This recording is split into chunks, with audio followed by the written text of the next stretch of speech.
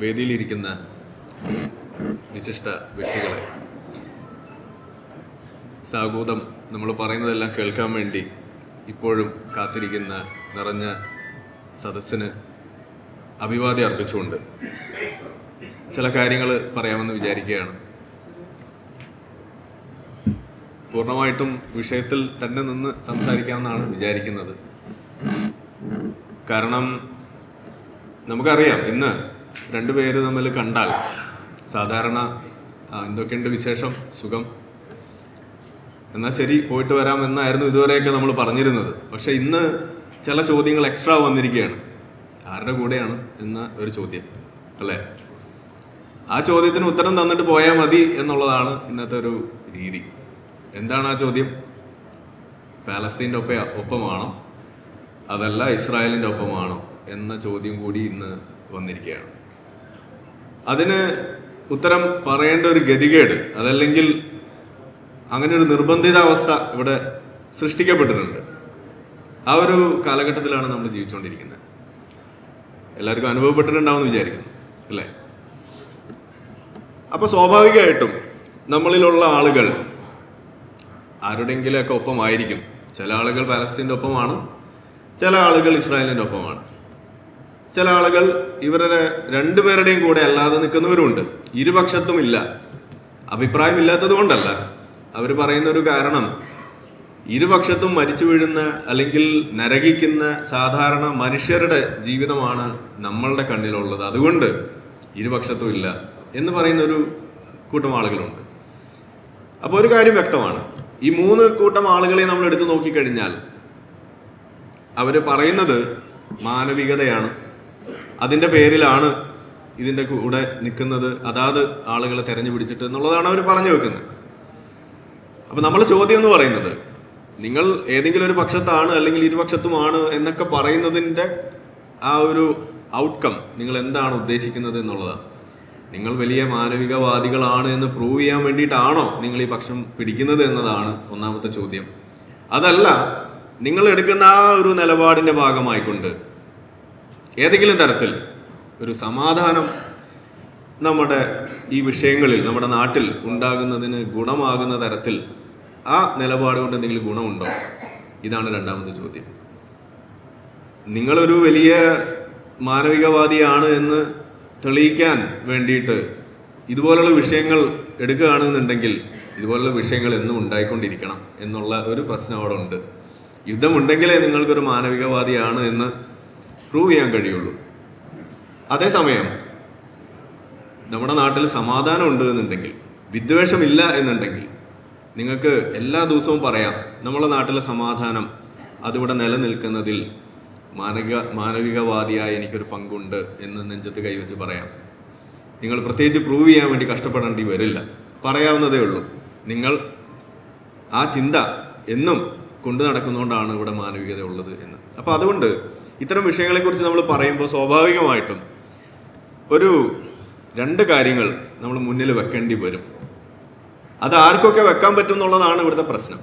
കാരണം നമ്മൾ എപ്പോഴും പറയാറുണ്ട് ഓരോ വിഷയവും നമ്മളെടുത്ത് വെക്കുമ്പോൾ അതിൽ സംസാരിക്കാൻ വേണ്ടി വരുന്ന ആളുകളുടെ ഒരു അവസ്ഥ എന്ന് പറഞ്ഞു കഴിഞ്ഞാൽ ഒരുപാട് ബാഗേജുമായിട്ടാണ് നടക്കുന്നത്. പല ആളുകളെയും സന്തോഷിപ്പിക്കേണ്ടതായിട്ട് വരും. പല ആളുകളെയും തൃപ്തിപ്പെടുത്തേണ്ടതായിട്ട് വരും. പല ആളുകളെയും വിഷമിപ്പിക്കാതിരിക്കേണ്ടതായിട്ട് വരും. അങ്ങനെയുള്ള ഒരു ബുദ്ധിമുട്ടുണ്ട്. നമുക്ക് ഏതായാലും എനിക്ക് ആ ബുദ്ധിമുട്ടില്ല. അതുകൊണ്ട് തന്നെയാണ് ഈ സ്വതന്ത്ര ചിന്തകൻ എന്ന് പറഞ്ഞിട്ടുള്ള ഒരു വളരെ ഇലാസ്റ്റിക് ഇല്ലാത്ത ഒരു ഫ്രീ സൈസ് സാധനത്തിൽ നമ്മളിങ്ങനെ ഇറങ്ങി നിൽക്കുന്നത്. അതിന്റെ ഒരു സുഖം വേറെ തന്നെയാണ്. അപ്പോൾ അതുകൊണ്ട് നമ്മളുടെ ഒരു അപ്രോച്ച് എന്ന് പറഞ്ഞു കഴിഞ്ഞാൽ രണ്ടൊരു കാര്യങ്ങളാണ്. എന്ത് തന്നെ നമ്മൾ പറയുന്നു എന്ത് തന്നെ പ്രവർത്തിക്കുന്നു എന്ന് പറഞ്ഞാലും അത് ഫാക്ട് ബേസ്ഡ് ആയിരിക്കുക പ്രത്യേകിച്ച് പൊളിറ്റിക്സ് പൊളിറ്റിക്സ് എന്ന് പറയുന്നത് ഫാക്ട് ബേസ്ഡ് പൊളിറ്റിക്സ് ആയിരിക്കുക എന്നുള്ളതാണ് ഒന്നാമത്തെ ഒരു ഒരു രീതി ഒരു അപ്രോച്ച് നമ്മൾ മുന്നോട്ട് വെക്കുക അല്ലെങ്കിൽ ഒരു ആറ്റിറ്റ്യൂഡ് നമ്മൾ മുന്നോട്ട് വെക്കുന്നത്. അങ്ങനെ വെക്കുന്നതിന്റെ ഭാഗമായിട്ട് തന്നെയാണ് നമുക്ക് ഇവിടെ നിന്ന് സംസാരിക്കാൻ പറ്റുന്നത് പോലും. മുസ്ലിം ലീഗ് വിളിച്ചാലും നമ്മൾ പോവും. കമ്മ്യൂണിസ്റ്റുകാർ വിളിച്ചാലും നമ്മൾ പോവും. ഇനിയിപ്പോൾ സാക്ഷാൽ ഹമാസ് വിളിച്ചാലും നമ്മൾ പോവും എന്ന് തന്നെയാണ് പറയാനുള്ളത്. പക്ഷെ അവർ വിളിക്കില്ല. അതാണ് അവിടുത്തെ ഒരു പ്രശ്നം. ഇനി അഥവാ വിളിച്ചാൽ തിരിച്ച് വീട്ടിലെത്താൻ സാധിക്കുമെന്നുള്ളതാണ് വേറൊരു പ്രശ്നം. തല വേണമല്ലോ. അങ്ങനെയൊക്കെയുള്ള ചില പ്രശ്നങ്ങളുണ്ട്.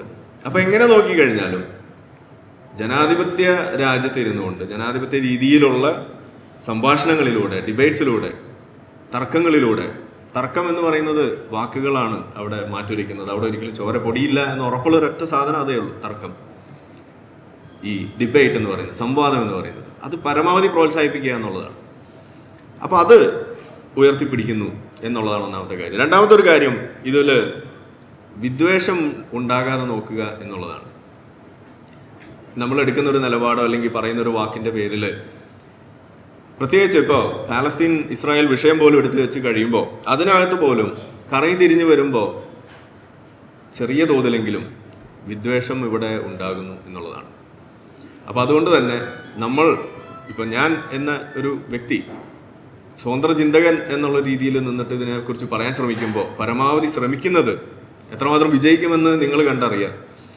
ശ്രമിക്കുന്നത് വിദ്വേഷമുള്ള സാഹചര്യങ്ങളിൽ നിന്ന് വിദ്വേഷത്തെ കുറയ്ക്കുവാനുള്ള എന്തെങ്കിലും വഴി കണ്ടെത്തുക എന്നുള്ളതാണ്. അപ്പോൾ ഇതുപോലുള്ള വിഷയങ്ങളാണ് നമ്മൾ ഇന്നൊന്ന് പരിശോധിക്കുന്നത്. പ്രത്യേകിച്ച് ഇന്നത്തെ ഇവിടുത്തെ ടൈറ്റിൽ എന്ന് പറയുന്നത് പശ്ചിമേഷ്യയിൽ അശാന്തി വിതച്ചത് ആര്? ഒരു മില്യൺ ഡോളർ ചോദ്യമാണത്. അല്ലേ? എനിക്ക് ചോദിക്കാനുള്ളത് ഇത് അറിഞ്ഞിട്ട് എന്താ ഇപ്പൊ കാര്യം എന്നാണ് അശാന്തി ഇതിന്റെ ഓർഗനൈസേഴ്സ് ഒന്നും വിചാരിക്കരുത്. മനസ്സിൽ വന്ന ഒരു ടൈറ്റിലുകൾ തിരുത്തിക്കൊണ്ട് അത് അങ്ങനെ ടൈറ്റിൽ ഇട്ടാലേ വരുള്ളൂ എന്നൊന്നും നമുക്ക് നിർബന്ധമൊന്നുമില്ല. ഏത് വിഷയമാണെങ്കിലും നമുക്ക് അവിടെ വരാലോ. പക്ഷേ അതിനോടുള്ള കാര്യങ്ങൾ നമുക്ക് പറയാമെന്നുള്ള ഒരു കാര്യമുള്ളതുകൊണ്ട് ഞാൻ ചോദിക്കുകയാണ്. ഇത് അറിഞ്ഞിട്ട് എന്താ കാര്യം? എന്തെങ്കിലും കാര്യമുണ്ടോ? വിതച്ചതാര് എന്ന് അറിഞ്ഞതുകൊണ്ട് എങ്ങനെ നിങ്ങൾ കണ്ടെത്തുക? ആരാണ് വിതച്ചതെന്ന് ആരാ കണ്ടെത്തുക? പശ്ചിമേഷ്യയിലെ കാര്യം വിടുക. ഇന്ത്യ പാകിസ്ഥാൻ വിഭജനം. അതിന് ഉത്തരവാദികൾ ആര് എന്നുള്ളതിന് നമ്മൾ എവിടെയെങ്കിലും ഉത്തരം കണ്ടെത്തിയിട്ടുണ്ടോ? ഓരോ കൂട്ടരും അവരവരുടെ കാരണങ്ങളല്ലേ ഇപ്പോഴും പറഞ്ഞുകൊണ്ടിരിക്കുന്നത്. നമ്മളുടെ നമ്മൾ ജീവിച്ചുകൊണ്ടിരിക്കുന്ന രാജ്യത്തെ കാര്യമാണ് ഞാൻ പറയുന്നത്. ഇസ്ലാമിന്റെ അല്ലെങ്കിൽ മുസ്ലിം ലീഗിന്റെ വക്താക്കൾ വന്ന് നിന്നിട്ട് പറയും. മുസ്ലിങ്ങളെന്ന് ഞാൻ പറയുന്നില്ല. മുസ്ലിം ലീഗുകാർ പറയുന്നത് അത് ആദ്യം തുടക്കം വെച്ചത് ആർ എസ് എസ്സുകാരാണ് ഹിന്ദു മഹാസഭക്കാരാണ്. അവരാണ് അതിന് തുടക്കം വെച്ചത്. ടു നേഷൻ തിയറി കൊണ്ടുവന്നത് അവരാണ് എന്ന് പറയുന്ന കൂട്ടർ ഇപ്പുറത്ത് നിൽക്കുന്നു.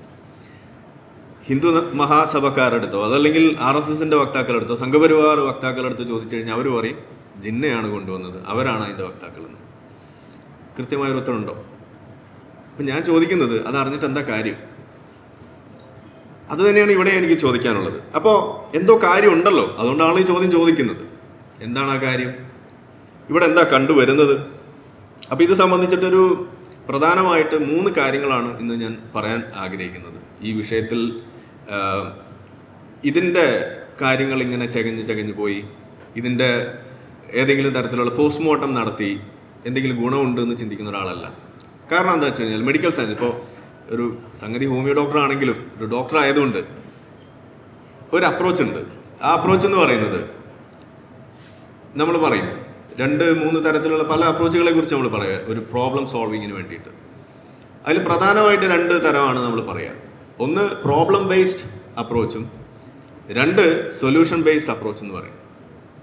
പ്രോബ്ലം ബേസ്ഡ് അപ്രോച്ച് എന്ന് പറഞ്ഞു കഴിഞ്ഞാൽ നിങ്ങളുടെ ശരീരത്തിൽ ഒരു മുറിവുണ്ട്. അല്ലെങ്കിൽ നിങ്ങൾക്ക് ഇപ്പോൾ ഒരു സൈക്കോളജിക്കൽ ആയിട്ടുള്ള ഒരു ഇഷ്യൂ ആണെന്നുണ്ടെങ്കിൽ അതിനെക്കുറിച്ച് ഇങ്ങനെ ചർച്ച ചെയ്ത് അതിനെക്കുറിച്ച് ഇങ്ങനെ കീറി മുറിച്ച് എന്താണ് അതിന്റെ പിന്നില്ല എവിടുന്ന് അത് തുടങ്ങി എന്നിങ്ങനെ അന്വേഷിച്ച് അന്വേഷിച്ച് പിന്നോട്ട് പോയി പിന്നോട്ട് പോയി അങ്ങനെ പോകുന്നൊരു രീതിയാണ് ഈ പ്രോബ്ലം ബേസ്ഡ് അപ്രോച്ച് എന്ന് പറഞ്ഞിട്ട് അതിനെ പരിഹരിക്കാൻ വേണ്ടി ശ്രമിക്കുന്ന ഒരു രീതി.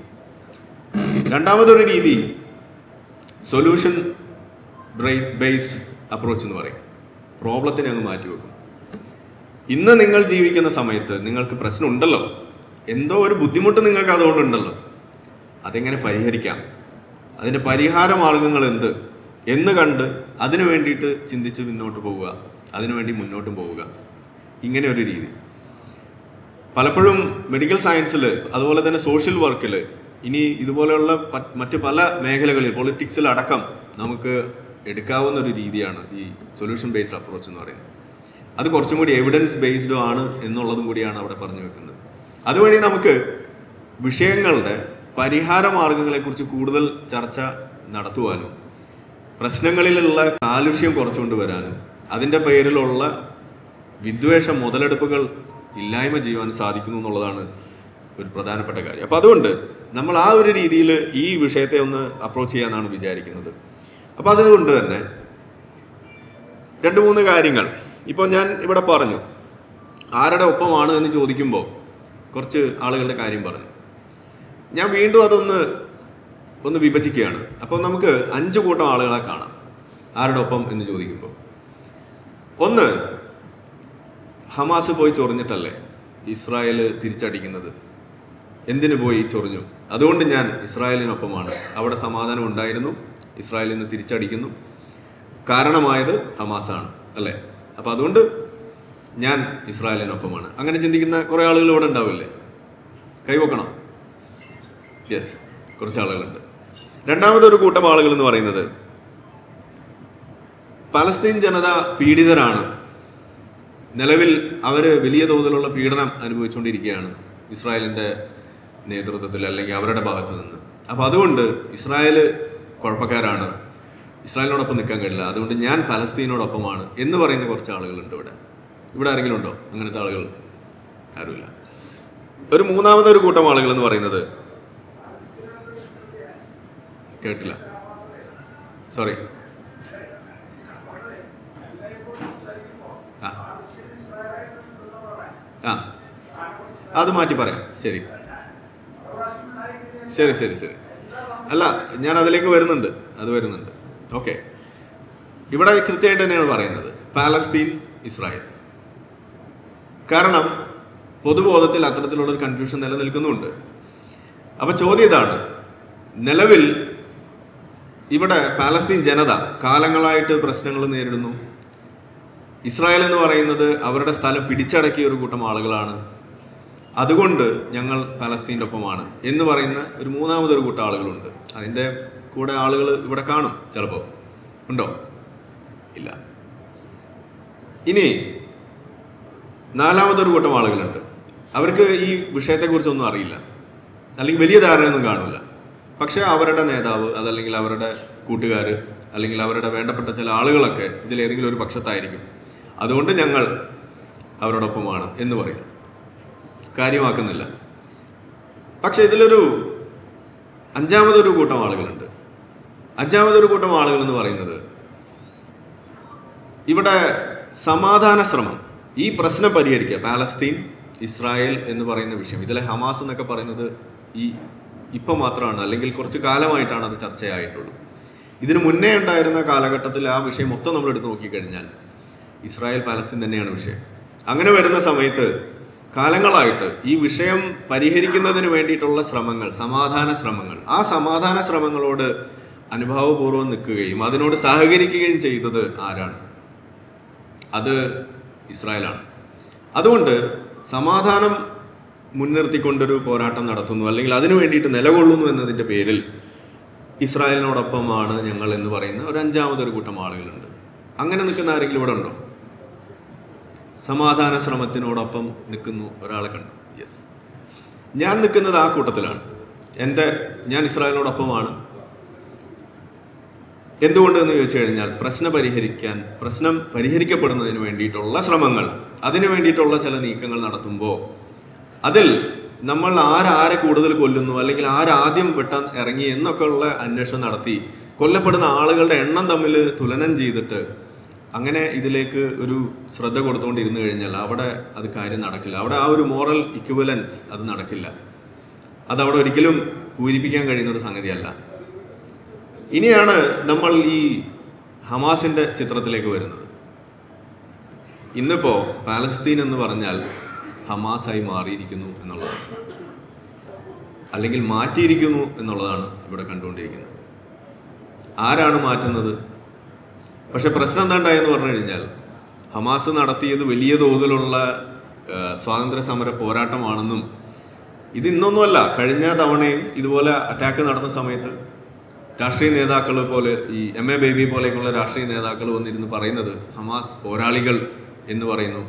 ചില മീഡിയ മീഡിയ വൺ പോലെയുള്ള ഞാൻ മുക്കാൽ മീഡിയ എന്നാണ് വിളിക്കാറ്.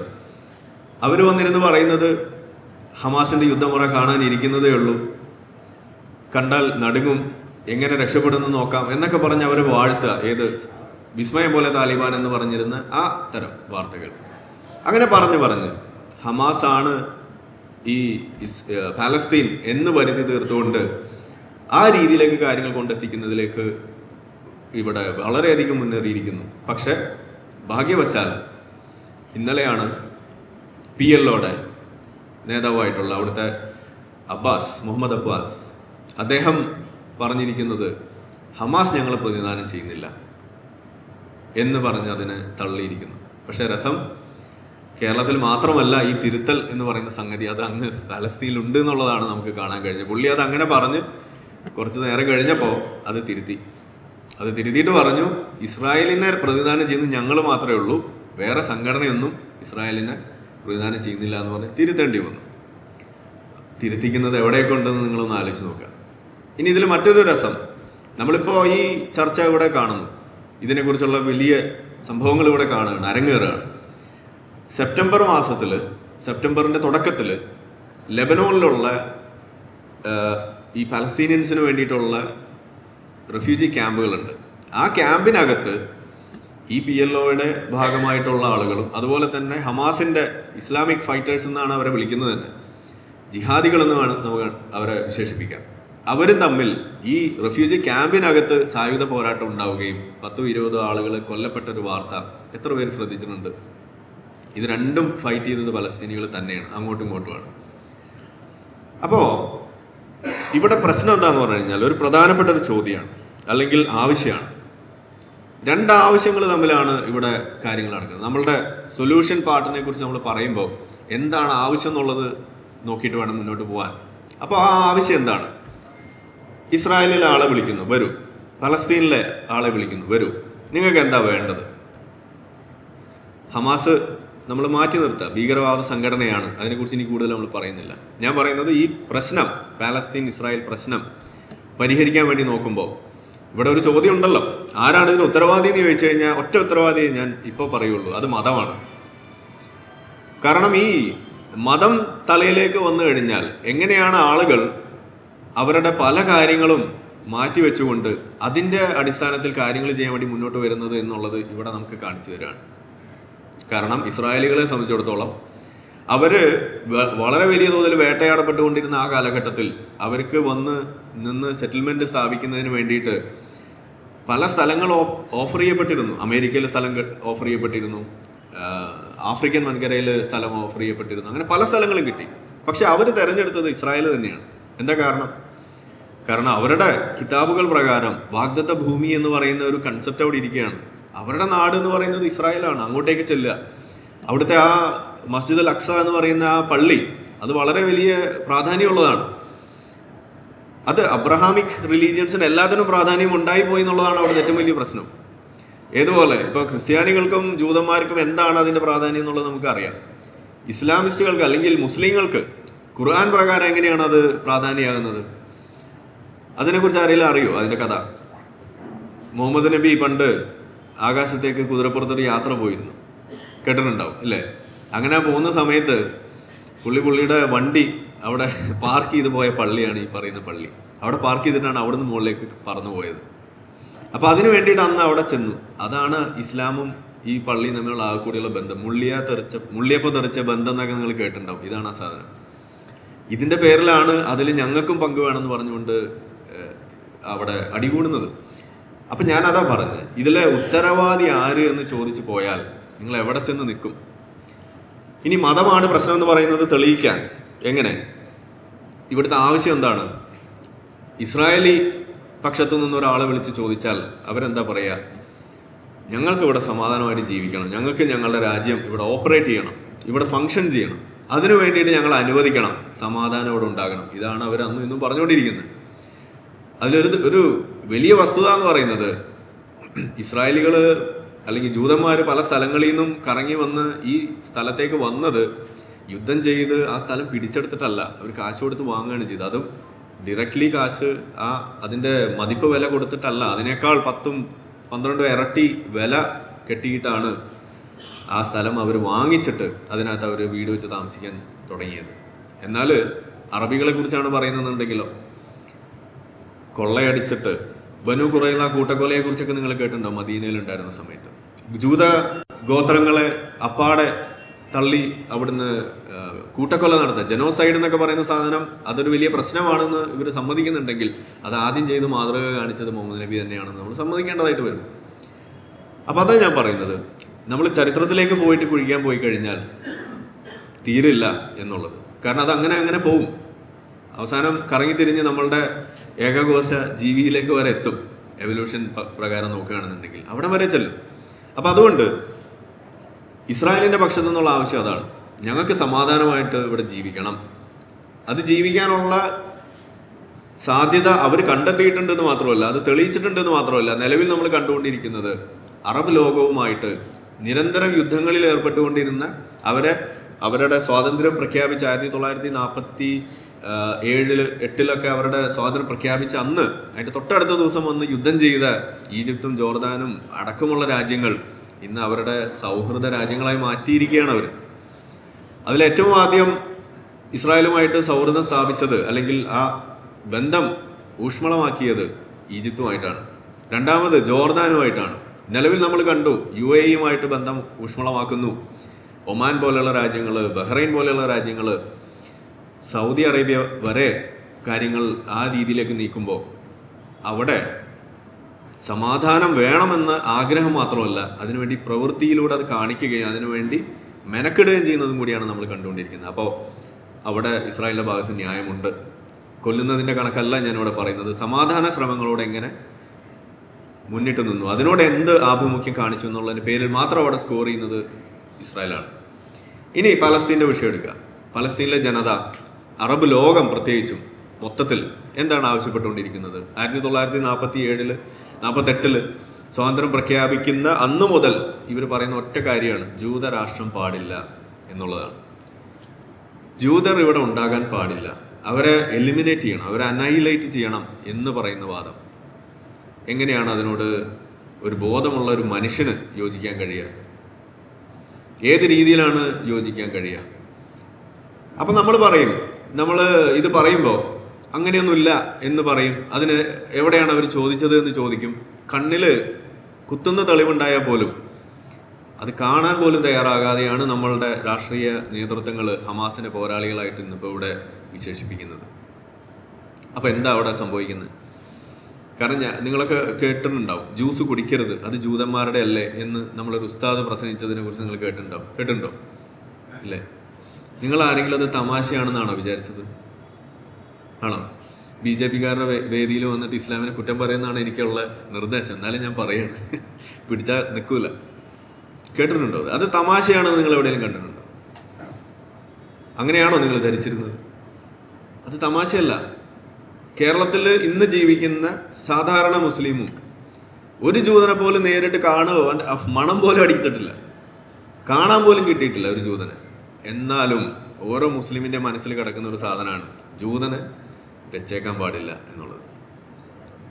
അതിനോട് എത്ര പേർക്ക് യോജിക്കുക എനിക്ക് യോജിക്കാൻ കഴിയില്ലായിരുന്നു. അത് അന്ന് മനസ്സിലാക്കിയ അന്നാണ് ഈ സാധനത്തിൽ ഇത്രയും വിദ്വേഷം വമിപ്പിക്കുന്ന സംഗതിയാണ് എന്ന് മനസ്സിലാക്കിയിട്ട് ഇതുപോലുള്ള മതങ്ങൾ പ്രശ്നമാണ് എന്ന് പറയുന്നത്. അപ്പോൾ ഇവർ സാധാരണ ഇപ്പം നമ്മളിത് പറയുന്നത് എക്സ് മുസ്ലിംസ് ആയിട്ടുള്ള ആളുകൾ പ്രത്യേകിച്ചും നമ്മളെ കൊണ്ട് ഏറ്റവും വലിയ കുഴപ്പം എന്ന് പറയുന്നത് അതാണ്. അതായത് പണ്ട് ഇസ്ലാമിനെ ആരെങ്കിലും വിമർശിച്ചാൽ അവൻ ഉടനെ ജൂത ഏജന്റ് ആവുമായിരുന്നു പണ്ട്. ഇന്നിപ്പോൾ ഡബിൾ ഏജന്റ് ആണ്. സംഖ്യയും കൂടിയാവും അതാണ് അവസ്ഥ. സംഖ്യകൾക്ക് കഞ്ഞി വെച്ച് കൊടുക്കുന്നു എന്നാണ് പറയാം. അപ്പോൾ അവരുദ്ദേശിക്കുന്നത് എന്താണ്? ഇത് പറയാൻ പാടില്ല എന്നാണ്. ശരി. അപ്പോൾ നമ്മൾ ചോദിക്കുന്നത് ഈ തരത്തിലുള്ള സംഗതികൾ നിങ്ങളുടെ കിതാബിലുള്ളത് നിങ്ങൾ തള്ളാൻ തയ്യാറാണോ? അപ്പോൾ ഇവർ പറയാം കിതാബിൽ ഇല്ല എന്ന് മാത്രമല്ല അത് നിങ്ങൾ വളച്ചൊടിച്ചതാണെന്ന് മാത്രമല്ല ജൂതന്റെ കിതാബിൽ ഇങ്ങനത്തെ പല സാധനങ്ങളുണ്ട്. ക്രിസ്ത്യാനിയുടെ കിതാബിലും ഇങ്ങനത്തെ പല സാധനങ്ങളുണ്ട്. ഹിന്ദുവിന്റെ കിതാബിലും ഇങ്ങനത്തെ പല സാധനങ്ങളുണ്ട്. നിങ്ങൾ എന്താ അതൊന്നും പറയാതെ ഈ ഇസ്ലാമിന്റെ മാത്രം എടുത്ത് പറയുന്നതെന്നാണ് ചോദിക്കുക. അവരോടൊക്കെ എനിക്ക് പറയാനുള്ളത്. നമ്മൾ ഇപ്പോൾ ഓരോ കാര്യം പറയുന്നു ചെയ്യുന്നു. എന്താണ് അതിന്റെ ലക്ഷ്യം? ഞാൻ പറഞ്ഞു. മാറ്റം ഉണ്ടാക്കുക എന്നുള്ളതല്ലേ? മാറ്റത്തിന് ആരെങ്കിലും വഴിപ്പെട്ടാൽ മാറ്റത്തിന് വഴിപ്പെടുന്ന ഒരു രീതി ആരെങ്കിലും മുന്നോട്ട് വെച്ചാൽ അതിനെ പ്രോത്സാഹിപ്പിക്കുക എന്നുള്ളതാണ് നമ്മളുടെ രീതി.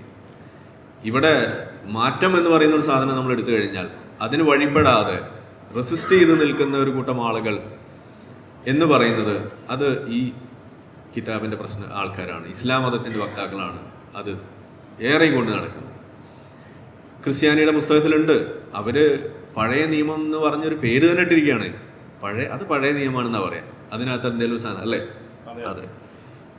അതിലെ ഒരു സാധനവും നമുക്ക് പൊക്കിക്കൊണ്ട് വരാൻ പറ്റില്ല. അതിലൊക്കെ വലിയ വലിയ പ്രശ്നങ്ങൾ. ഇസ്ലാമിലേക്കാൾ വലിയ കുഴപ്പം പിടിച്ച സാധനങ്ങളൊക്കെ പഴയ നിയമത്തിൽ എഴുതി വെച്ചിട്ടുണ്ട്. പൊക്കിക്കൊണ്ട് വന്നാൽ എന്ത് പറയും?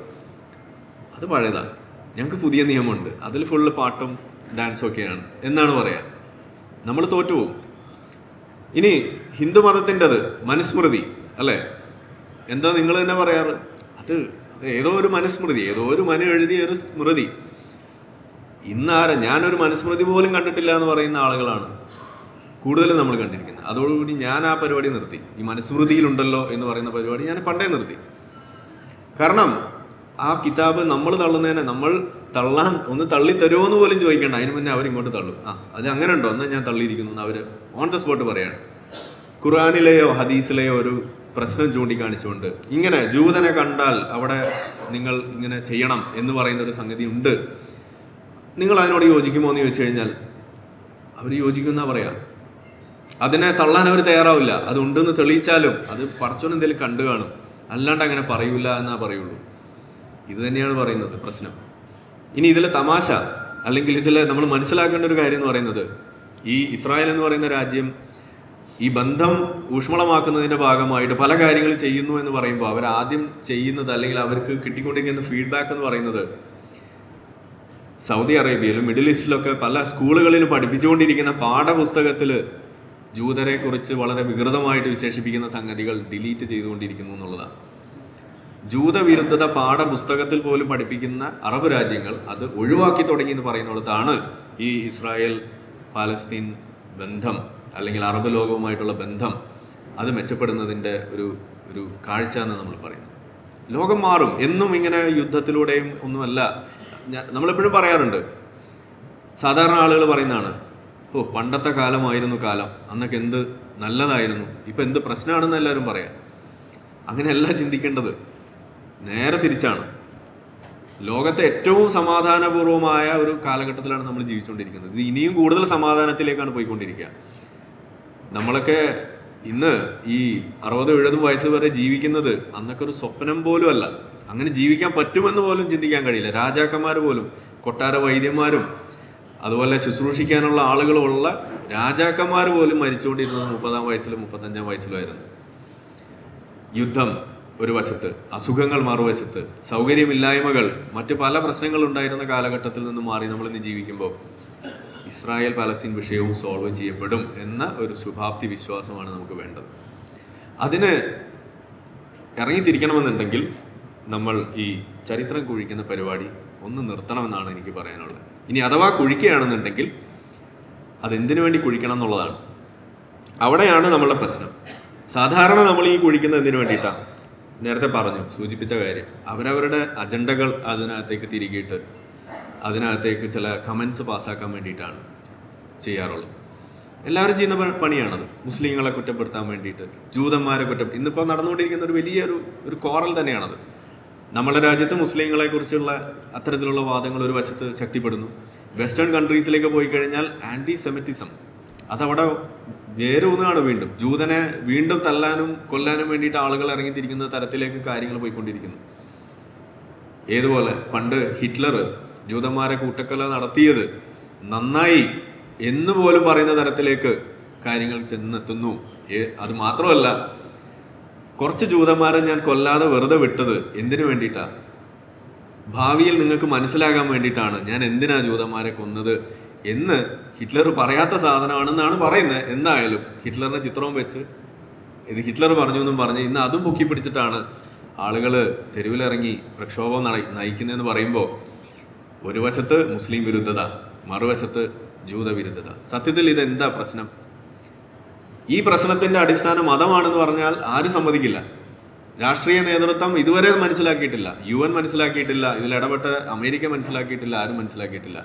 എല്ലാവരും ഇതൊരു ജിയോ പൊളിറ്റിക്കൽ ഇഷ്യൂ ആണെന്ന് മാത്രമാണ് പറഞ്ഞു കേൾക്കുന്നത്. പക്ഷെ ഇതിനകത്ത് പ്രധാന വില്ലൻ മതമാണെന്ന് പറയുന്നത് അതുകൊണ്ടാണ് ഈ മതത്തിന്റെ പേരിലുള്ള പ്രശ്നം അത് ഇസ്ലാമിനും ജൂതമതത്തിനും മാത്രമല്ല ഏത് മതത്തിനും ഇതുപോലെയുള്ള പ്രശ്നങ്ങളിൽ ചെന്ന് ചാടാം എന്നൊരു ഗുണപാഠമാണ് എനിക്കിവിടെ നിങ്ങളുമായിട്ട് പങ്കുവെക്കാനുള്ളത്. അപ്പോൾ നമ്മൾ സാധാരണ രാഷ്ട്രീയ അജണ്ടയായിട്ട് നമ്മൾ ചരിത്രം കുഴിച്ചിട്ട് പലതും പറയാറുണ്ട്. നമ്മളുടെ ഫെയിലിയേഴ്സ് നമ്മളുടെ പ്രശ്നങ്ങൾ പോരായ്മകൾ ചൂണ്ടിക്കാണിക്കാൻ വേണ്ടിയിട്ട് നമ്മൾ പറയും. ആ അത് അത് നെഹ്റു ആണ് അതിന്റെ ഉത്തരവാദി അല്ലേ? അങ്ങനെ പറയുന്നത് നിങ്ങൾ കേട്ടുകയാണ് അല്ലെങ്കിൽ അത് കമ്മ്യൂണിസ്റ്റുകാരാണ് അതിന്റെ പ്രശ്നക്കാർ ഇനി അതും അല്ലെങ്കിൽ ചില ആളുകൾ പറയാം അത് അത് സംഖ്യയാണ് അതിന്റെ പ്രശ്നം. ഇങ്ങനെ ഇങ്ങനെ എല്ലാവരും അവരവരുടെ മുന്നിലുള്ള പ്രശ്നങ്ങളിൽ നിന്ന് ഒഴിഞ്ഞു മാറാൻ വേണ്ടി രാഷ്ട്രീയ അജണ്ടകളായിട്ടും വിക്ടിം കാർഡായിട്ടും ഇത് രണ്ടിനും വേണ്ടിയിട്ടാണ് ഈ ചരിത്രം സാധാരണ കുഴിക്കാറുള്ളത്. ഞാൻ പറയുന്നു ചരിത്രം കുഴിക്കുന്നുണ്ടെങ്കിൽ നിര ഇതിന്റെ അപരാധികളെ നിങ്ങൾ കണ്ടെത്താൻ വേണ്ടി ശ്രമിക്കുന്നുണ്ട് എന്നുണ്ടെങ്കിൽ അതിനുവേണ്ടി ഇറങ്ങിത്തിരിക്കുന്നുണ്ടെന്നുണ്ടെങ്കിൽ ആ പോകുന്ന വഴിയിൽ നിങ്ങൾ എന്തെല്ലാം കാണുന്നുണ്ടോ അത് ഉൾക്കൊണ്ടിട്ട് നമ്മൾ എടുക്കേണ്ട ചില സംഗതി എന്ന് പറഞ്ഞു കഴിഞ്ഞാൽ ഒറ്റ കാര്യമാണ്. ചരിത്രത്തിൽ നമുക്ക് കാണാൻ കഴിയുന്ന ഗുണപാഠങ്ങൾ ഉൾക്കൊള്ളുക എന്നുള്ളത് ഒന്ന് രണ്ട് അതിൽ നമുക്ക് കാണാൻ സാധിക്കുന്ന തെറ്റുകൾ അതിലെ അപരാധങ്ങൾ അത് നമ്മൾ ആവർത്തിക്കാതിരിക്കുക എന്നുള്ളതും കൂടിയാണ്. ചരിത്രം പഠിക്കാൻ വേണ്ടി ഇറങ്ങിത്തിരിക്കുമ്പോൾ കുഴിക്കാൻ വേണ്ടി നമ്മൾ ഇറങ്ങിത്തിരിക്കുമ്പോൾ നമ്മൾ മനസ്സിലുണ്ടാകേണ്ടതെന്നാണ് എനിക്ക് അവിടെ പറയാനുള്ളത്. നിലവിൽ കാണുന്നത് അതല്ല. നിലവിൽ കാണുന്നത് എല്ലാവരും അവരവർക്ക് ഇഷ്ടമുള്ള അത്ര ചില ആളുകൾ പത്ത് കിലോമീറ്റർ കുഴിക്കും ചില ആളുകൾ പതിനഞ്ച് കിലോമീറ്റർ കുഴിക്കും ചില ആളുകൾ പതിനഞ്ചര കിലോമീറ്റർ. കുറച്ചുകൂടി അങ്ങോട്ട് പോയാൽ നന്നായിരിക്കും അല്ലേ? ചില ആൾക്ക് അത്രയൊന്നും വേണ്ട. രണ്ടായിരത്തി പത്ത് വരെ കുഴിച്ചാൽ മതി. ഇനി ഇനി അങ്ങോട്ട് പോകുന്ന ആളുകൾ എന്താ ചെയ്യുക നിങ്ങൾ നോക്കിക്കോളൂ. ഒരു രണ്ടായിരത്തി മുപ്പതിൽ ഇരുന്നിട്ട് നിങ്ങൾ ഇസ്രായേൽ പാലസ്തീൻ വിഷയത്തെക്കുറിച്ച് പറയുമ്പോൾ ആളുകൾ കുഴിക്കുക രണ്ടായിരത്തി ഇരുപത്തി മൂന്ന് ഒക്ടോബർ വരെയാണ്. കാരണം ഇത് നല്ലൊരു മൈൽ സ്റ്റോൺ ആണ് അവർക്ക് സമാധാനപൂർവമായിട്ടുണ്ടായിരുന്ന ഇസ്രായേലി ഒരു മ്യൂസിക് ഫെസ്റ്റിവലിന്റെ ഇടയിലേക്ക് ഒരു ഒരു ഡെസേർട്ട് മ്യൂസിക് ഇവന്റിനകത്തേക്ക് ഹമാസ് എന്ന് പറയുന്ന തീവ്രവാദി കൂട്ടം പാലസ്തീനെ രക്ഷിക്കാനെന്നും പറഞ്ഞുകൊണ്ട് ഇടിച്ചു കയറുന്നു. സാധാരണക്കാരെ കൊല്ലുന്നു. അന്ന് ഇസ്രായേൽ തിരിച്ചടിക്കുന്നു. ഇതാണ് ഇനി നമ്മൾ കേൾക്കാൻ പോകുന്ന കഥ. നിങ്ങൾക്ക് അതിനോട് യോജിക്കാൻ പറ്റും. ആ കഥ ആ സംഗതി ശരിയാണ്. അത് ചെയ്തത് ഒരിക്കലും നമുക്ക് അംഗീകരിക്കാൻ പറ്റാത്ത സിവിലിയൻസിനെ കൊല്ലാക്കൊല ചെയ്ത കാര്യമാണ്. പക്ഷേ ഇങ്ങനെ കുഴിക്കാനാണെന്നുണ്ടെങ്കിൽ വേറെ കുറേ ആളുകൾക്ക് കുഴിക്കാൻ സ്ഥലം ബാക്കി കിടപ്പില്ലെന്നാണ് നമ്മൾ ചോദിക്കുന്നത്. അത് ചിന്തിക്കണം എന്നാണ് ഈ പറഞ്ഞത്. അപ്പം നമ്മൾ പറയുന്നത് സൊല്യൂഷൻസിനെ കുറിച്ച് നമ്മൾ ചിന്തിക്കുക എന്നുള്ളതാണ്. ഇനി രണ്ടാമത്തെ ഒരു കാര്യം. ഈ ഒരു വിഷയത്തിൽ ഒരുപാട് ആളുകൾ വിദഗ്ധരാണ് ഇതിനുള്ള സൊല്യൂഷൻസിനെ കുറിച്ച് പറയുന്നു. ഇന്നിപ്പോൾ ഒരു വാർത്ത നമ്മൾ വായിച്ചത് ഒരു പത്ത് മിനിറ്റ് കൊണ്ട് നിർത്താട്ടോ. ഓക്കെ. ഇന്ന് വായിച്ചൊരു വാർത്ത എന്ന് പറയുന്നത് ഒവൈസി. ഒവൈസി പറഞ്ഞൊരു സംഗതിയാണ്. ഇന്ത്യ പാകിസ്ഥാൻ വിഭജനം ഒരിക്കലും നടക്കാൻ പാടില്ലായിരുന്നു. എന്ന് പറഞ്ഞിട്ടുള്ളൊരു കാര്യം. എനിക്ക് ചോദിക്കാനുള്ളത് അന്ന് ഇന്ത്യ പാകിസ്ഥാൻ വിഭജനം നടക്കുന്ന സാഹചര്യവും അതിന്റേതായിട്ടുള്ള കാലുഷ്യത കലുഷിതമായിട്ടുള്ള ഒരു അന്തരീക്ഷവും അതിനു വേണ്ടിയിട്ടുള്ള വലിയ പ്രശ്നങ്ങൾ നടന്നുകൊണ്ടിരിക്കുന്ന ആ സമയത്ത് ഇരുന്നുകൊണ്ട് ഒരാൾ ഒരു കാര്യം അല്ലെങ്കിൽ ഒരു കൂട്ടം ആളുകൾ ഒരു കൂട്ടം ചിന്തകർ ഇരുന്നുകൊണ്ട് ചിന്തിച്ചെടുക്കുന്ന തീരുമാനവും ഇന്ന് അത് ചെയ്തതിന് ശേഷമുള്ള കാര്യങ്ങളൊക്കെ മനസ്സിലാക്കി ഇന്ന് നമ്മൾ ഇരുന്ന് പറയാണ് അന്ന് എടുത്ത തീരുമാനം തെറ്റിപ്പോയി എന്ന് പറയുന്നത് അത് ന്യായമാണെന്ന് നിങ്ങൾക്ക് തോന്നുന്നുണ്ടോ? ഉണ്ടോ? അതൊരു ലക്ഷറി അല്ലേ? നമുക്കിങ്ങനെ പിന്നോട്ട് നോക്കിയിരുന്ന കാര്യം പറയാൻ പറ്റുന്നുണ്ടല്ലേ ഇതിപ്പോൾ ഇന്ത്യ പാകിസ്ഥാന്റെ കാര്യം വിടുന്നു. ഒന്നാം ലോക മഹായുദ്ധം രണ്ടാം ലോക മഹായുദ്ധം. ഇതൊന്നും നടക്കാൻ പാടില്ലായിരുന്നു നമുക്കിപ്പോൾ പറയാൻ പറ്റുന്നുണ്ടല്ലോ ഇല്ലേ? ഇപ്പൊ നമ്മൾ പറയുന്നത് ഇത് മൂന്നാം ലോക മഹായുദ്ധത്തിലേക്ക് പോകുന്നു എന്നാണ് അല്ലേ? നമ്മൾ തടയാൻ ശ്രമിക്കുന്ന അതാണ്. ഇത് മൂന്നാം ലോക മഹായുദ്ധം ആകാതെ നോക്കാനാണ് ശ്രമിക്കുന്നത്. അപ്പോൾ ഇവിടെ ഓപ്പറേറ്റ് ചെയ്യുന്നത് എന്താണ്? ഇവിടെ ഓപ്പറേറ്റ് ചെയ്യുന്നത് ഒരു ഹൈൻസൈറ്റ് ബയാസ് എന്ന് പറയുന്ന ഒരു സംഗതിയാണ്. അതായത് നമ്മൾ ഇന്ന് ജീവിച്ചിരിക്കുന്ന സമയത്ത് ഇരുന്നുകൊണ്ട് നമുക്കൊരു ലക്ഷറി ഉണ്ട്. പഴയ കാര്യങ്ങളൊക്കെ കാണാനും അതിന്റെ ഔട്ട്കംസ് അത് അതിന്റെ ആഫ്റ്റർ മാത്സ് അതൊക്കെ ഫെയിലിയർ ആയതും സക്സസ് ആയതും ഒക്കെ ഇരുന്ന് ഇങ്ങനെ ഫോർ കെ സ്ക്രീനിലിരുന്ന് കാണാം. അതല്ലെങ്കിൽ വല്ലാത്ത കഥ എന്നൊക്കെ പറഞ്ഞിട്ടുള്ള ചില പരിപാടിയിലൂടെ നമുക്ക് കാര്യങ്ങളൊക്കെ കേട്ട് മനസ്സിലാക്കി അതിന്റെ എല്ലാ ഇഴകീറി കാര്യങ്ങൾ അറിയാൻ ഇനിയിപ്പോൾ കൂടെ ചാറ്റ് ജി പി ടി അതുപോലുള്ള സാധനങ്ങളൊക്കെ വെച്ചിട്ട് നമുക്കിങ്ങനെ കറക്റ്റ് അറിയാനുള്ളൊരു ഒരു വലിയ ലക്ഷറിയിൽ ഇരുന്നുകൊണ്ട് നമ്മളെല്ലാം കീറി മുറിച്ച് പരിശോധിച്ചിട്ട് നമ്മൾ പറയാണ് ഇന്ത്യ പാകിസ്ഥാൻ അത് പാടില്ലായിരുന്നു. ഒന്നാം ലോക മഹായുദ്ധം. അത് അവിടെ ആ സംഗതി അവിടെ ചെയ്തിരുന്നെങ്കിൽ അത് നമുക്ക് അതവിടെ തടയാൻ പറ്റുമായിരുന്നു. രണ്ടാം ലോക മഹായുദ്ധം അവിടെ ഇന്ന പോലെ ഒന്ന് ഇടത്തോട്ട് തിരിയുന്നതിന് പകരം ഒന്ന് വലത്തോട്ട് തിരിഞ്ഞാൽ മതിയായിരുന്നു. നമുക്ക് ആ രണ്ടാം ലോക മഹായുദ്ധം അവിടെ തടുക്കാൻ പറ്റുമായിരുന്നു എന്നൊക്കെ നമ്മൾ ഇന്നിരുന്ന് പറയുമ്പോൾ നമ്മൾ ആലോചിക്കണം. അതൊരു ഹൈൻസൈഡ് ബയാസാണ് അതിലൂടെ നമ്മൾ ജീവിക്കാൻ തുടങ്ങിയാൽ അതിലൂടെ നമ്മൾ കാര്യങ്ങളെ കാണാൻ ശ്രമിച്ചാൽ നമ്മൾ അകന്നു പോകുന്നത് യഥാർത്ഥ റിയാലിറ്റിയിൽ നിന്നും യഥാർത്ഥ സൊല്യൂഷൻസിൽ നിന്നുമാണ്. നമുക്ക് സൊല്യൂഷൻസിലേക്ക് എത്താൻ കഴിയില്ല. നമ്മളെപ്പോഴും ഈ പ്രോബ്ലത്തിനെ കുറിച്ച് കൂടുതൽ കൂടുതൽ ചിന്തിച്ചുകൊണ്ട് അതിനെ കൂടുതൽ കീറി മുറിക്കാൻ നിർബന്ധിതരാകുകയാണ് ചെയ്യുക അപ്പം അതുകൊണ്ട് ഇവിടെ ഈ ഹൈൻസൈഡ് ബയാസിലേക്ക് പോകുമ്പോഴുള്ള മറ്റൊരു പ്രശ്നം എന്ന് പറഞ്ഞു കഴിഞ്ഞാൽ അതിനു വേണ്ടിയിട്ട് നമ്മൾ ചെറിയ പിക്കിംഗ് കൂടി നടത്തേണ്ടി വരുന്നുള്ളതാണ് ചില കാര്യങ്ങൾ.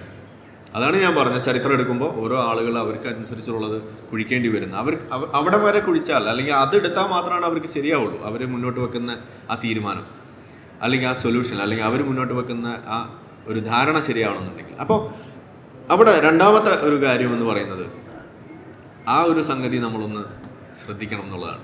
ഹൈൻസൈഡ് ബയാസ് അതൊരു ഒരു ആഡംബരമാണ്.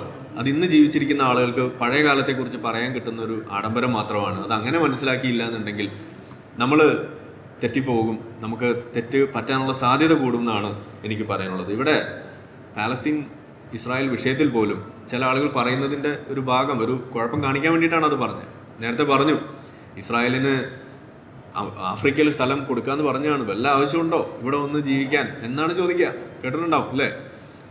ചില ആളുകൾ ചോദിക്കും അവർക്ക് അമേരിക്കയിൽ നിൽക്കാമായിരുന്നു. ഒരു കുഴപ്പമുണ്ടായിരുന്നു. ഇരു കൈ നീട്ടി അവർ സ്വീകരിച്ചതാണ്. അവർക്ക് അവിടെ വന്നാൽ മതിയായിരുന്നു.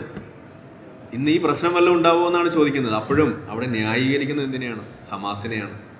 അവിടെ ന്യായീകരിക്കുന്നത് എന്തിനെയാണ്? അത് ഈ ജൂത വിരുദ്ധതയാണ്. ആ വിദ്വേഷത്തെയാണ് അവിടെ ന്യായീകരിക്കുന്നത് പരോക്ഷമായിട്ടാണെങ്കിലും അതറിയുന്നില്ല. അപ്പോൾ ഈ ഹൈൻസൈറ്റ് ബയാസിലൂടെ കാര്യങ്ങളെ കാണാൻ ശ്രമിക്കുമ്പോൾ ഉണ്ടാകുന്ന ഒരു പ്രധാന പ്രശ്നം അതുകൂടിയാണ്.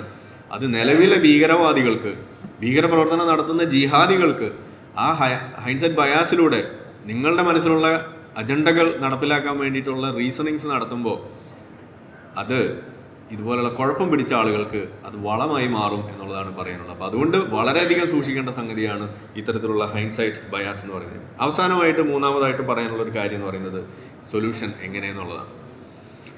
ഈ പ്രശ്നം എങ്ങനെ പരിഹരിക്കാം? ഞാൻ പറഞ്ഞു ആരാണ് ഉത്തരവാദി എന്ന് ചോദിച്ച് സമയം കളഞ്ഞ് നമ്മൾ അതിനു വേണ്ടി മെനക്കെടുന്നില്ല. കാരണം നിങ്ങൾക്ക് തന്നെ ആലോചിക്കാവുന്നേ ഉള്ളൂ. എനിക്ക് പറയാനുള്ള ഉത്തരം ഞാൻ പറഞ്ഞു. അത് മതമാണ്. മതകഥകളാണ്. മതവിശ്വാസമാണ്. മതവിശ്വാസത്തിന്റെ അടിസ്ഥാനത്തിലുള്ള ചില വിദ്വേഷ പ്രചാരണങ്ങളാണ് വിദ്വേഷ നിലപാടുകളാണ് ജൂതനെ വെക്കാനേ പാടില്ല എന്ന തരത്തിലുള്ള ജീവിക്കാൻ പോലും അനുവദിക്കാൻ പാടില്ല. ജൂതരാഷ്ട്രമേ പാടില്ല എന്നൊക്കെ ഇന്ന് ഈ രണ്ടായിരത്തി ഇരുപത്തി മൂന്നിൽ ഇരുന്ന് പറഞ്ഞാൽ അതിനോട് നമുക്ക് എന്താ പറയാനുള്ളത്? ഒരു ഒരു റിയാലിറ്റിയാണ്. ജൂതരാഷ്ട്രം എന്നല്ല ഇസ്രായേൽ എന്ന് പറയുന്ന ഡെമോക്രാറ്റിക് ആയിട്ടുള്ള ഒരു രാജ്യം. അതൊരു യാഥാർത്ഥ്യമാണ്. മലയാളികൾ അടക്കമുള്ള ആളുകൾ അവിടെ അനേകം പേര് ജോലി ചെയ്യുന്ന ആളുകളാണ് അവിടെ ജീവിക്കുന്ന ആളുകളാണ്. ആ യാഥാർത്ഥ്യം ഉണ്ടാകാൻ പാടില്ല എന്ന് പറയുന്നതിനോട് ഒരു തരത്തിൽ നമുക്ക് സന്ധി ചെയ്യാൻ പാടില്ല. അതുകൊണ്ട് ഞാൻ ആവർത്തിക്കുന്നു. സമാധാനമാണ് ഇവിടെ വേണ്ടത്. സമാധാന ശ്രമങ്ങളോട് എന്നും അനുഭവപൂർവം നിൽക്കുകയും അതിനുവേണ്ടി ശ്രമിക്കുകയും ചെയ്തിട്ടുള്ള ശ്രമിച്ചുകൊണ്ടിരിക്കുകയും ചെയ്തുകൊണ്ടിരിക്കുന്ന ഇസ്രായേലിനോടൊപ്പമാണ് നമ്മൾ നിൽക്കേണ്ടത്. അതല്ലാതെ ഹമാസ് ആക്രമിച്ചു എന്നതിന്റെ പേരിൽ അവരെ തിരിച്ചടിക്കുന്ന ഇസ്രായേലോ അതല്ലെങ്കിൽ ഇസ്രായേൽ കാലങ്ങളായിട്ട് ദ്രോഹിച്ചുകൊണ്ടിരിക്കുന്ന സെറ്റിൽമെന്റ്സ് നടത്തിക്കൊണ്ട് അവരെ വലിയ തോതിൽ അഭയാർത്ഥികളാക്കി മാറ്റുന്ന ഇസ്രായേൽ ആയതുകൊണ്ട് ഫലസ്തീനോടൊപ്പമോ എന്നൊന്നുമല്ല. അതോടൊപ്പമാണ് നേരത്തെ പറഞ്ഞ ആ ഹമാസ് പ്രേമം ജിഹാദി പ്രേമം. ഒരു കാര്യം അതിനെക്കുറിച്ച് പറയാനുണ്ട് അത് അവസാനം പറയാം. എന്തുകൊണ്ട് ഈ ഹമാസ് എന്ന് പറയുന്ന സംഘടനയെ ഭീകരവാദ സംഘടന എന്ന് വിളിക്കണം എന്നുള്ളതിന്റെ ഒരു ഒരു ബോണസ് ആയിട്ടുള്ളത് മീൻസ് ഈ നേരിട്ട് വിഷയമായിട്ട് ബന്ധമില്ല. എന്നാലും ഒന്ന് പറയേണ്ടതുണ്ട്. അവസാനമായിട്ട് ഞാൻ ഈ പറയുന്ന ഈ സൊല്യൂഷൻ പാർട്ട് എന്ന് പറയുന്നത് ട്രൂത്ത് ആൻഡ് റീകൺസിലിയേഷൻ എന്ന് പറയുന്ന ഒരു പോളിസിയാണ് നമ്മൾ പറഞ്ഞു ഈ സമാധാന ശ്രമങ്ങൾക്ക് വേണ്ടിയിട്ട് പല കാര്യങ്ങൾ ചെയ്ത കൂട്ടത്തിൽ ഇവിടെ ഇസ്രായേൽ മുന്നോട്ട് വെച്ചിട്ടുള്ള ഒരു പ്രധാന ഒരു രീതിയാണ് ലാൻഡ് ഫോർ പീസ് എന്ന് പറയുന്ന ഒരു സംഗതി. സമാധാനം ഞങ്ങൾക്ക് തന്നാൽ ഞങ്ങൾ പിടിച്ച് എടുത്ത സ്ഥലം നിങ്ങൾക്ക് വിട്ടുതരാം എന്ന രീതിയാണ് അവർ മുന്നോട്ട് വെച്ചിട്ടുള്ളത്. ഈജിപ്തുമായിട്ട് സമാധാനം സ്ഥാപിച്ചത് അങ്ങനെയാണ്. ജോർദാനുമായിട്ട് സമാധാനം സ്ഥാപിച്ചത് അങ്ങനെയാണ്. ഫലസ്തീനായിട്ടും സമാധാനം സ്ഥാപിക്കാൻ അവർ മുന്നോട്ട് വന്നത് അങ്ങനെ തന്നെയാണ്. പക്ഷെ അതിനോട് ഒരു തരത്തിലും നിലകൊള്ളാതെ നേരത്തെ പറഞ്ഞ പോലെ ജൂതരാഷ്ട്രമേ പാടില്ല എന്ന നിലപാടാണ് അവിടെ നമുക്ക് യോജിക്കാൻ പറ്റാത്തതെന്ന് പറഞ്ഞു. അപ്പോൾ ഇവിടെ എങ്ങനെ ഇത് പരിഹരിക്കാം? സൊല്യൂഷൻ ഇവിടെ കാലങ്ങളായിട്ടുണ്ട്. ഒരു ടു നേഷൻ ഒരു ഒരു തിയറി തന്നെ അല്ലെങ്കിൽ ഒരു ടു നേഷൻ പോളിസിയാണ് അവിടെ മുന്നോട്ട് വെച്ചിരിക്കുന്നത്. ഒരു സൊല്യൂഷനായിട്ട് രണ്ട് രാജ്യങ്ങളായിട്ട് വിഭജിക്കുന്നു. അതിന്റെ റേഷ്യോ ഒക്കെ വേറെ വേറെ കിടക്കുന്നു. അത് പോട്ടെ. എന്നിരുന്നാലും എത്ര ചെറിയ റേഷ്യോ ആണെന്നുണ്ടെങ്കിൽ ചെറിയ ഭാഗമാണെന്നുണ്ടെങ്കിൽ അത് മതി എന്ന് പറഞ്ഞുകൊണ്ട് മുന്നോട്ട് വന്ന രാജ്യമാണ് ഇസ്രായേൽ. അതിനോട് യോജിക്കാതെ ആയിരത്തി തൊള്ളായിരത്തി നാൽപ്പത്തി ഏഴിൽ അതിനോട് മുഖം തിരിച്ചു നിന്ന കൂട്ടം ആളുകളാണ് അറബ് ലോകം പാലസ്തീൻ ഉൾപ്പെടെ. അപ്പോൾ അവിടെ ഒരു കാര്യം വ്യക്തമാണ്. സൊല്യൂഷൻ എന്ത് എന്നുള്ളത് അവിടെ ഉണ്ട്.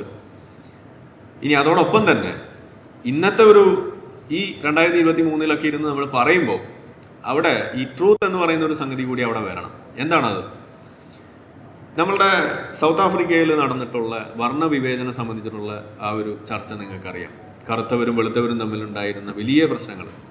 അതോടൊപ്പം ലോകത്ത് പല സ്ഥലങ്ങളിലും അത്തരത്തിലുള്ള പ്രശ്നങ്ങളുണ്ട്. റുവാണ്ടയിൽ ഉണ്ടായിട്ടുള്ള പ്രശ്നങ്ങളുണ്ട് ജനോസൈഡ്സ് അതുപോലെ കാനഡയിൽ ഇതുപോലെ പണ്ടൊരു പ്രശ്നമുണ്ടായതിന്റെ പേരിലൊക്കെ.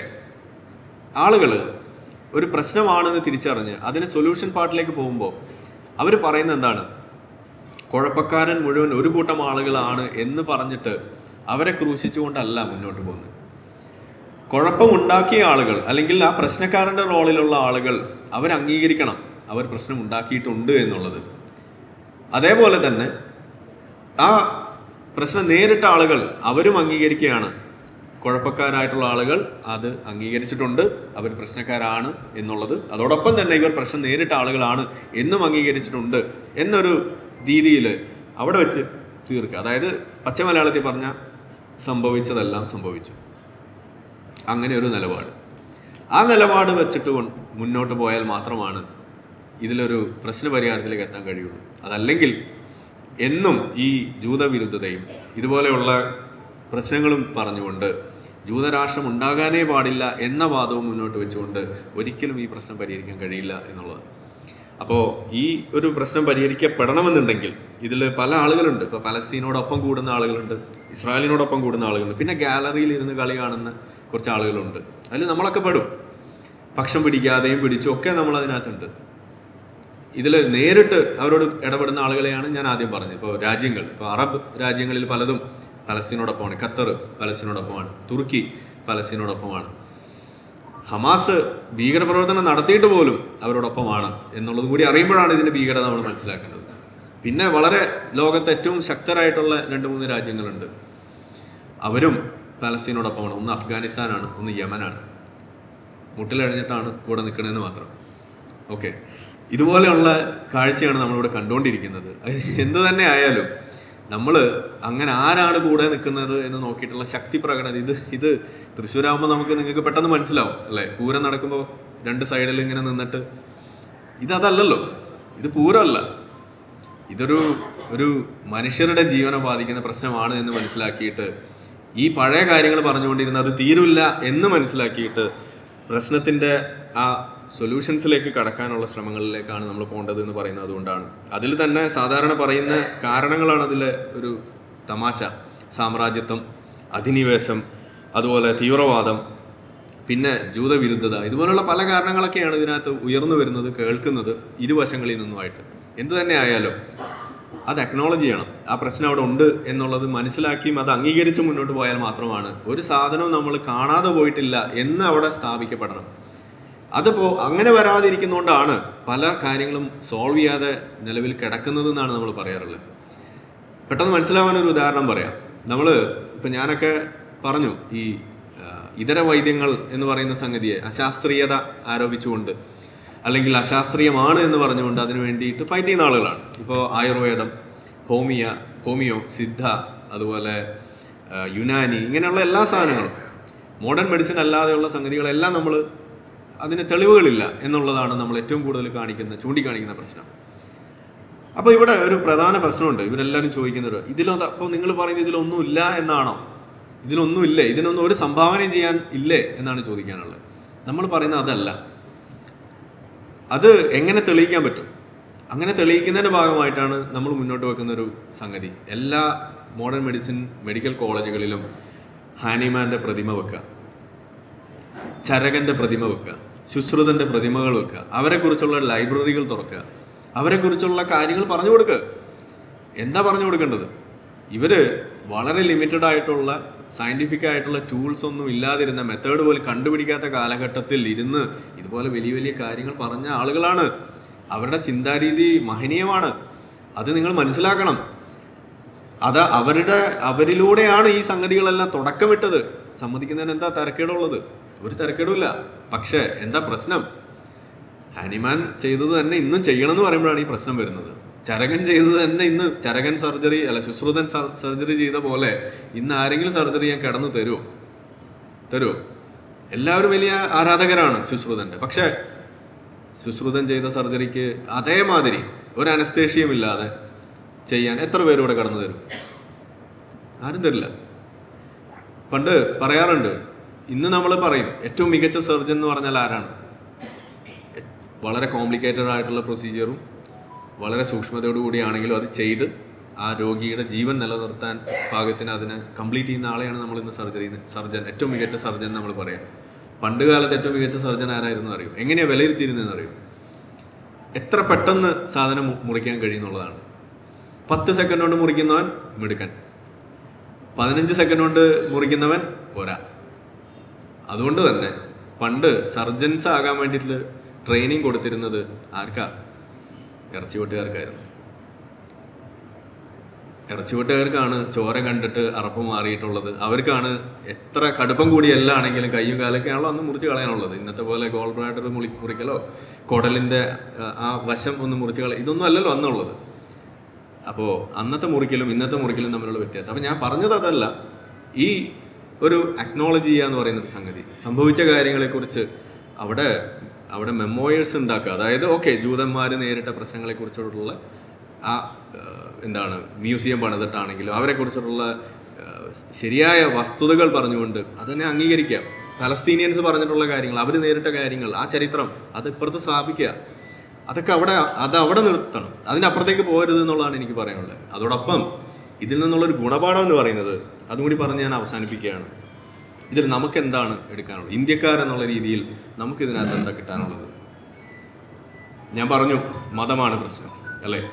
രണ്ട് ഈ ചരിത്രം കുഴിക്കുമ്പോൾ വലിയ പ്രശ്നങ്ങൾ ഉണ്ടാകുന്നു എന്ന് ഞാൻ പറഞ്ഞു.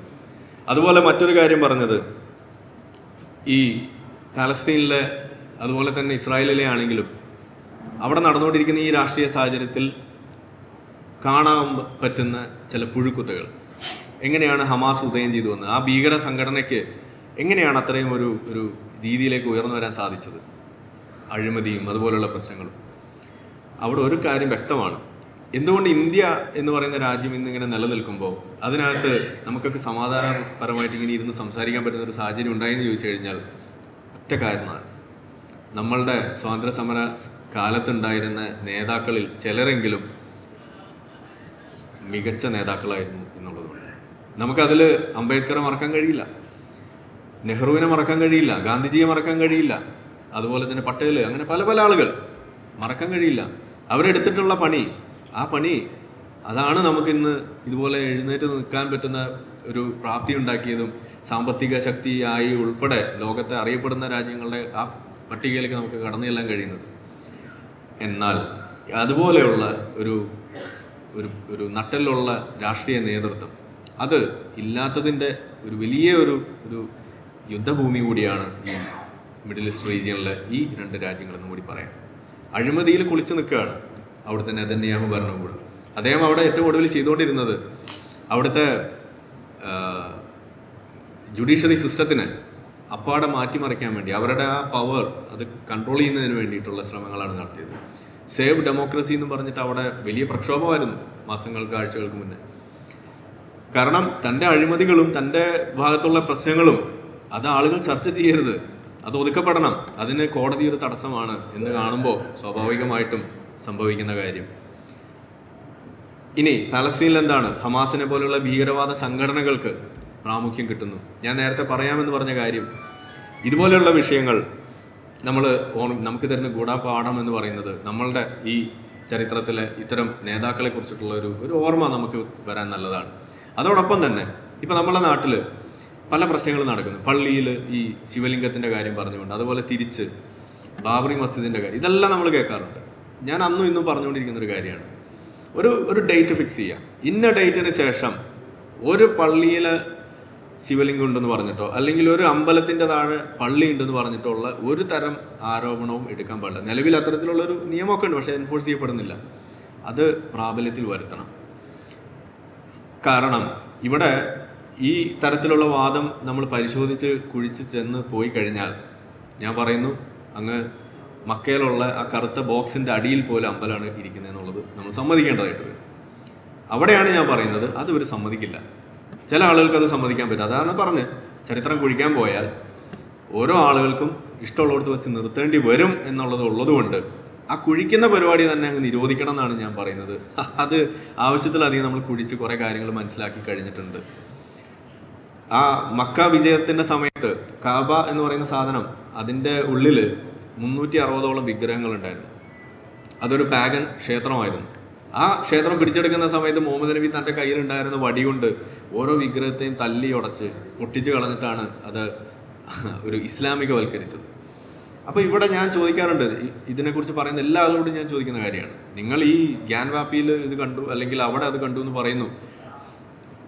അങ്ങനെ തിരിച്ച് ആളുകൾ പറയാൻ തുടങ്ങിക്കഴിഞ്ഞാൽ നിങ്ങൾ ഈ മക്കയിലെ കാബ നിങ്ങൾ വിട്ടുകൊടുക്കും. അത് അവരുടെ പാഗൻ ദൈവത്തിന്റെതാണെന്ന് അവരൊരു അവകാശം ഉന്നയിച്ചു കഴിഞ്ഞാൽ നിങ്ങൾ വിട്ടുകൊടുക്കും? ഇല്ല.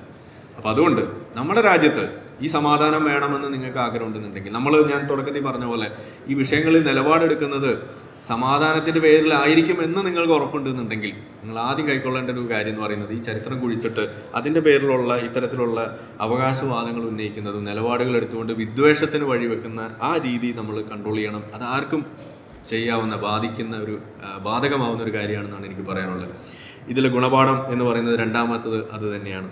ഇനി അവസാനത്തെ ഒരു കാര്യം എന്ന് പറയുന്നത് എന്തുകൊണ്ട് ഹമാസിനെ ഭീകരവാദ സംഘടന എന്ന് ആവർത്തിച്ച് പറയണം എന്നുള്ളത്? അത് തെളിയിച്ചു തന്നത് ഇവിടുത്തെ പോപ്പുലർ ഫ്രണ്ടുകാരെ നിരോധിച്ച സമയത്ത് കണ്ട കാര്യങ്ങളാണ്. നമ്മൾ കണ്ടു പോപ്പുലർ ഫ്രണ്ടിനെ നിരോധിച്ചത് നന്നായി നിരോധിക്കണമായിരുന്നു. നിരോധിക്കേണ്ട സംഘടനയാണ് എന്ന ഒറ്റ ശ്വാസത്തിൽ ഇവിടുത്തെ രാഷ്ട്രീയ നേതൃത്വങ്ങൾക്കോ ഇതിനെ ഇതിനെക്കുറിച്ചുള്ള ഒരു കമന്റ് പാസ്സാക്കുന്നവർക്കോ ഒരിക്കൽ പോലും പറയാൻ സാധിച്ചിട്ടില്ല. അവരതിനെക്കുറിച്ച് പറയുമ്പോൾ അപ്പുറത്ത് ഇങ്ങനെ ചാരി എന്നിട്ടാ പറയാം ആർ എസ് എസിനെ നിരോധിക്കണം എന്നാണ് പറയുക അല്ലേ? ഞാൻ ചോദിക്കാറുണ്ട് ആർ എസ് എസിനെ നിരോധിക്കണം. നിരോധിക്കേണ്ട സമയമുണ്ട് നിരോധിക്കേണ്ട നിയമങ്ങളോടുണ്ട് നിരോധിക്കാനുള്ള തെളിവുകളുണ്ടെങ്കിൽ എപ്പോൾ വേണമെങ്കിലും നിരോധിക്കാം. നിരോധിച്ചിട്ടുണ്ടല്ലോ. പക്ഷേ പോപ്പുലർ ഫ്രണ്ടിനെ കുറിച്ച് പറയുമ്പോൾ അവിടെ എന്തിനാണ് ഈ സാധനം എടുത്തുകൊണ്ട് വരുന്നത് എന്ന് നമ്മൾ ചോദിക്കാറുണ്ട്. അതിനൊറ്റ കാരണമുള്ളൂ പോപ്പുലർ ഫ്രണ്ട് എന്ന് പറയുന്ന സംഘടനയെ അന്ന് നിരോധിച്ചു. അതിനെ അറസ്റ്റ് ചെയ്ത് ആ സംഭവങ്ങളൊക്കെ നടന്നതിന് ശേഷം നിരന്തരം പിന്നെയും പിന്നെയും അറസ്റ്റുകളൊക്കെ നടന്നുകൊണ്ടിരിക്കുമ്പോൾ ഇവിടെ എത്ര മുസ്ലിങ്ങളായിട്ടുള്ള ആളുകൾ അവർക്ക് പിന്തുണയായിട്ട് വരുന്നുണ്ട്? ഒരാളെയും നിങ്ങൾക്ക് കാണില്ല. എന്തുകൊണ്ടാണ് കാണാത്തത്? കാരണം അവർക്കൊരു ഒരു ക്ലിയർ കട്ടായിട്ടുള്ള ഒരു ഐഡിയ കൊടുക്കാൻ സാധിച്ചു എന്നുള്ളത് ഒരു സന്ദേശം കൊടുക്കാൻ സാധിച്ചു എന്നുള്ളതാണ്. ഇതാണ് ഭീകരവാദം. പോപ്പുലർ ഫ്രണ്ട് ചെയ്തുകൊണ്ടിരുന്നതാണ് ഭീകരവാദം. ജോസഫ് മാഷിനെ കൈവെട്ടിയത് അടക്കം ഉള്ള കാര്യങ്ങൾ. അത് ഒരു സന്ദേശമാണ്.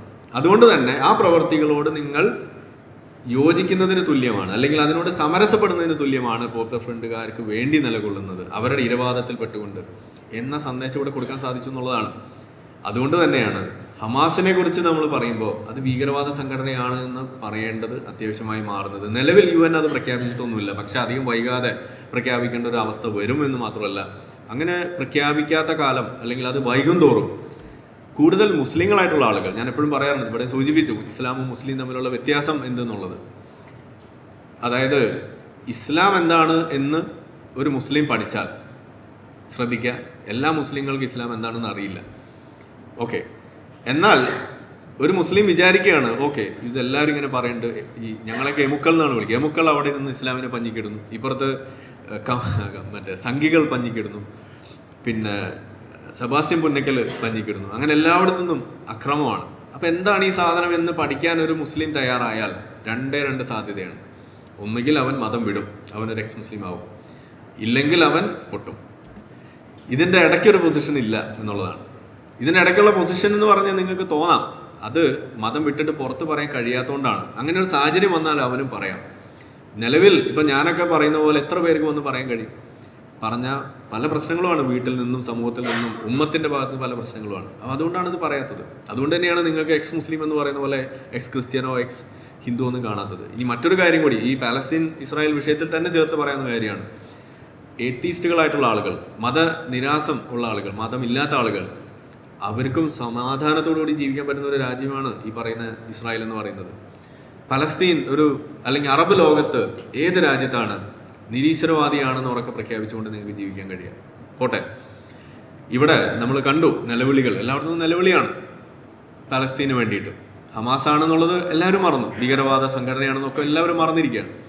ഞാൻ ചോദിക്കുന്നത് ഇന്ന് അവിടെ നടന്നുകൊണ്ടിരിക്കുന്ന തൊട്ടടുത്ത രാജ്യം ഇറാനിൽ നടന്നുകൊണ്ടിരിക്കുന്നതിനെ കുറിച്ച് എവിടെയെങ്കിലും ചർച്ച നിങ്ങൾ കണ്ടിട്ടുണ്ടോ?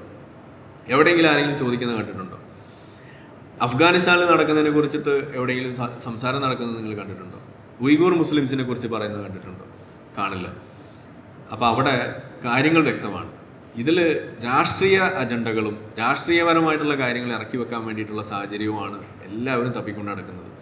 അത് നമ്മൾ തിരിച്ചറിയണം എന്നുള്ളതാണ് എനിക്ക് അവസാനമായിട്ട് പറയാനുള്ളത്. അപ്പോൾ അതുകൊണ്ട് മൂന്ന് കാര്യങ്ങൾ ഒന്നുകൂടി ആവർത്തിച്ച് പോയിന്റായിട്ടേ പറയുന്നു. വിശദീകരണമൊന്നുമില്ല. മൂന്ന് കാര്യം. ഒന്ന് ചരിത്രം കുഴിക്കുമ്പോൾ സൂക്ഷിക്കണം.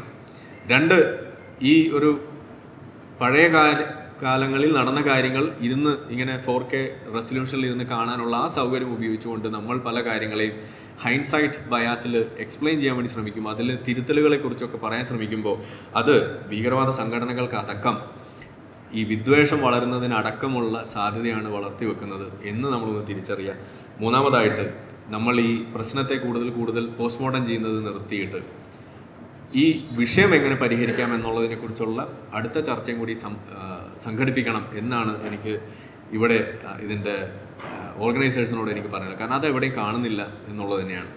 എന്നാലാണ് ഇത് പൂർത്തിയാവുള്ളൂ. ഇത് ഇതിനൊരു പൂർണത ഉണ്ടാവുള്ളൂ എന്നാണ് എനിക്ക് പറയാനുള്ളത്. അതല്ലാന്നുണ്ടെങ്കിൽ ഇത് വിദ്വേഷം വിദ്വേഷം തന്നെയാണ് ഇതിലൂടെ ഉണ്ടായിക്കൊണ്ടേയിരിക്കുക. അപ്പോൾ ഏതായാലും പറഞ്ഞ കാര്യങ്ങളിൽ എന്തെങ്കിലും വിയോജിപ്പുകളൊക്കെ ഉണ്ടാവും. എല്ലാം അങ്ങനെ പൂർണമായിട്ട് എടുക്കണമെന്ന ഒരു ഉദ്ദേശമൊന്നും നമുക്കില്ല പക്ഷേ തർക്കങ്ങൾ അതല്ലെങ്കിൽ സംവാദം നിലനിർത്തുക എന്നുള്ളത് തന്നെയാണ് നമ്മുടെ ലക്ഷ്യം. അപ്പോൾ അതുകൊണ്ട് ഇത്ര നേരം കേട്ടിരുന്ന എല്ലാ ആളുകൾക്കും നന്ദി. ഇതുപോലെ ഒരു ചടങ്ങിലേക്ക് സംസാരിക്കാൻ വിളിച്ചതിനും നന്ദി. അറിയിച്ചുകൊണ്ട് നിർത്തുന്നു. നന്ദി. നമസ്കാരം.